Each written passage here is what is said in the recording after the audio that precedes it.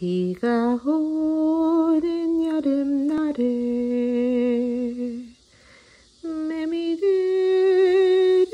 맴매을 보나는 그림을 그립니다. 비가 오는 날이면 난 그대를 생각해. 여름밤 홀로 앉아 글을 쓸 때 반딧불을 모아 내게 보내주던 당신 지금은